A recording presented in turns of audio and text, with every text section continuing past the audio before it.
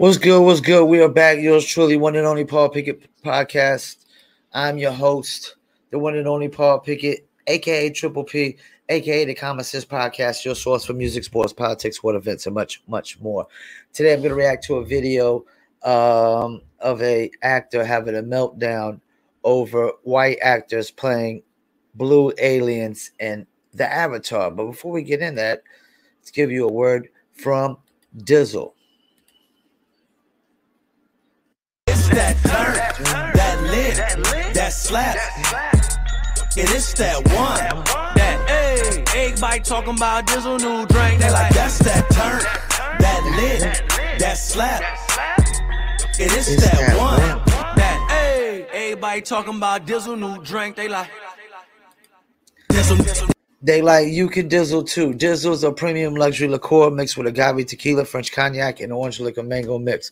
Throw your dizzle on ice, and it's nice. If you want to order your very own bottle or bottles of Dizzle premium luxury liqueur, go to dizzlebrand.com, click on our locations, click on one of the top three website links. I recommend Emilio's Beverage. Must be 21 and over. Shipping and handling is included. Below that is locations in California, Arkansas, Kansas, and Oklahoma as well.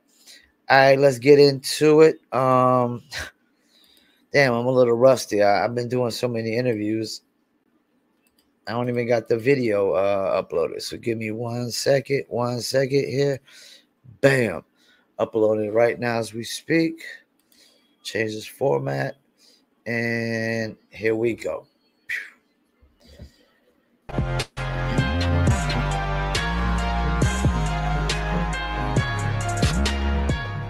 If you're a woke film critic who has a terrible opinion on a movie, you shouldn't be surprised when some people call you out. You shouldn't be surprised if that post goes viral, that you get mocked by thousands of people on the internet. Because, quite frankly, if you say something stupid, that's just something that happens. Now, you do have an option. If you are one of these woke film critics that finds yourself in a situation like that, you could just completely ignore that it ever happened. Maybe you could just delete the tweet. Maybe you could just say, ah, whatever, I'll move on with my life or you can try to play victim. You can have a complete woke meltdown and embarrass yourself even more. And that's what this person decided to do. Just a few days after having one of the worst avatar takes anyone had ever seen, claiming somehow that it's cultural appropriation when people that aren't the Wow. skin color that you would prefer play alien Na'vi species, a nine foot tall blue skinned alien from a fictional planet. That was the take that Kathia Woods, a Rotten Tomatoes certified critic, actually had. And she got brutally mocked. My. Film critic locks down Twitter account after being mocked for saying white people portraying blue aliens in Avatar movie is cultural appropriation. And it was laughable. She got destroyed for it, and rightly so. It was a really stupid take. She limited her replies, but got quote tweeted to hell and back. And I got involved with simply this. This is all I did. This is all I did. LOL. That's what I said. I retweeted her dumb tweet and I said LOL. I didn't take like a crazy shot at her. I didn't do anything. I just laughed. I said LOL because it was You so easy. stupid, right? It was just such a dumb take. And she eventually did protect her Twitter account. She didn't want people to see, so I just posted what she actually said. At some point, we got to talk about the cultural appropriation of Avatar and white actors are cosplaying as POC.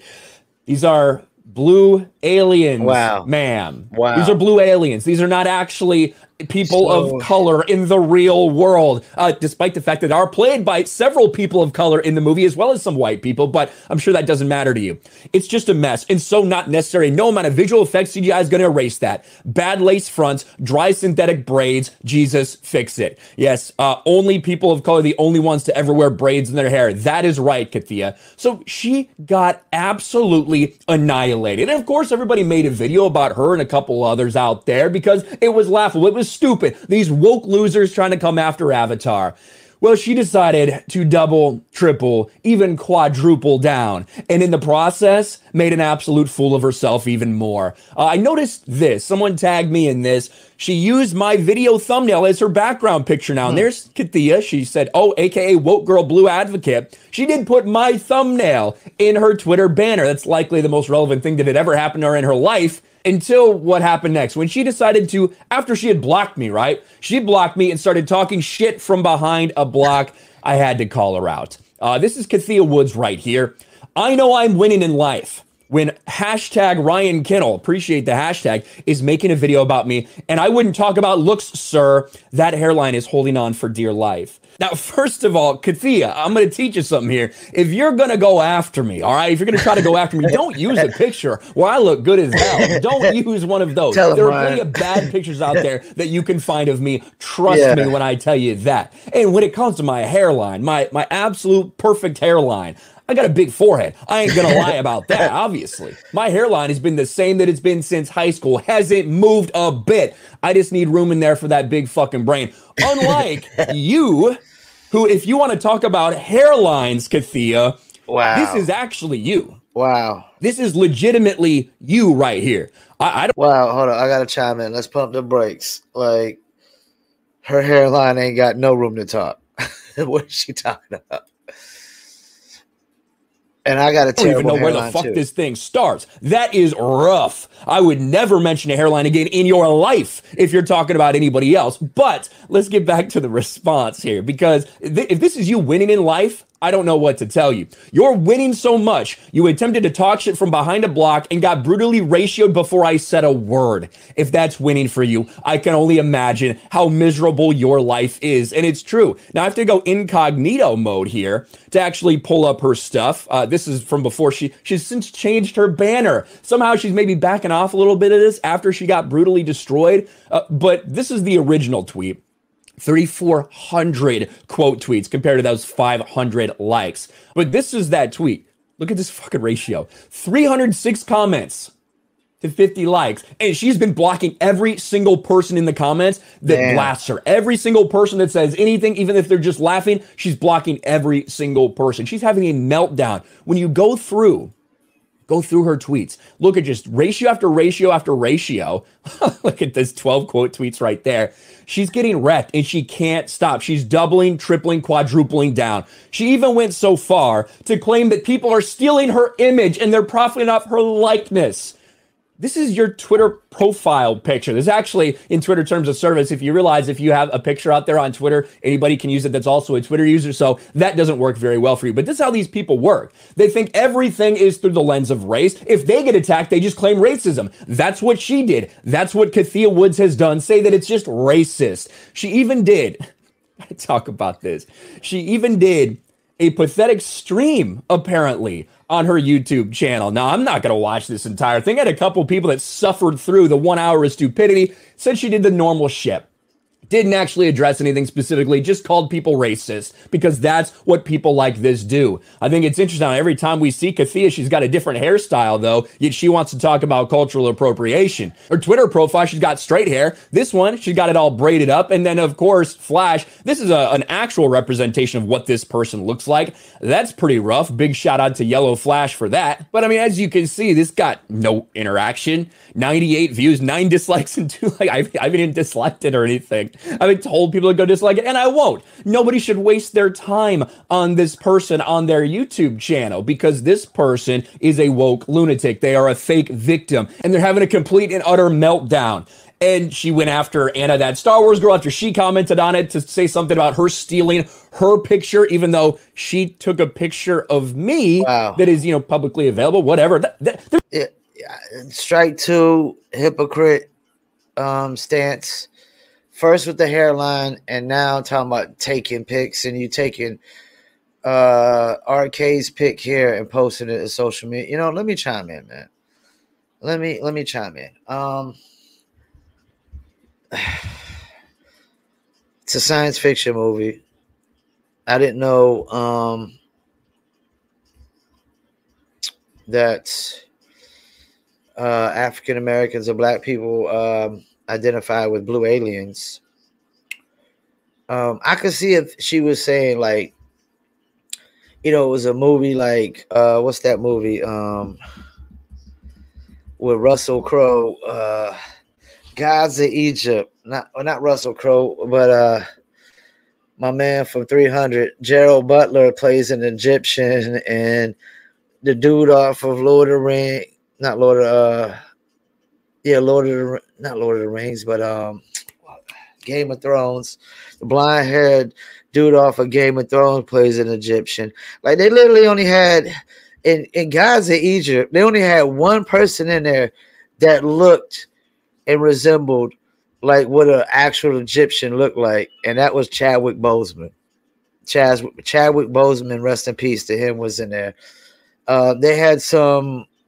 Uh, I want to say that was that. I want to say she's an Asian chick or Hispanic or something playing an Egyptian. Like, yeah, if you if it were talking about these movies where white people play Egyptians, yeah, those those movies are so whack. They're so whack. Or, or even like they have Arabic people playing Egyptians because Egyptians were African, you know, black. Um, so yeah. If you were talking about movies like that, I, I, would get it. I would be totally with you. Like, yeah, man, you know, white people playing Egyptians, come on, get the get the hell out of here.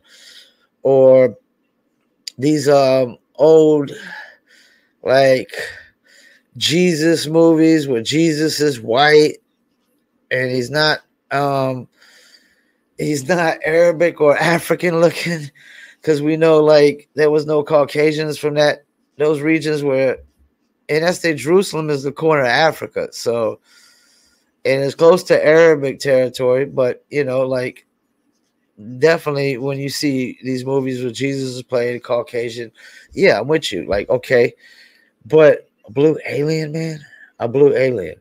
And why wasn't you saying this about part one? Because there was probably some white people playing um the blue aliens in part one and two. And there was probably some Hispanics and other races as well. When you look up the cast, I mean, there was a lot of characters playing the Blue Aliens. There was a lot of different ones. Um, yeah, some people just they have to look at everything for a racial lens, and I think it's a really sad and miserable way to, to live. You know, it, it really is.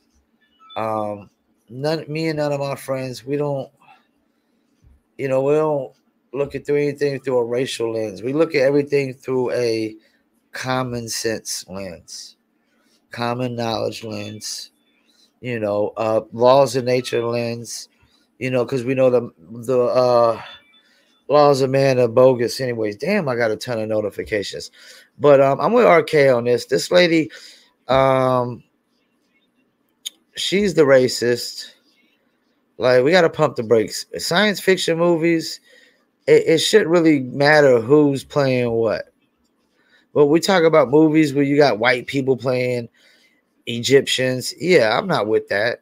Uh, another one, they had um, Christian Bale playing Moses. Man, get the fuck out of here, man. Hebrews, they weren't Caucasians. Moses wasn't no fucking white man.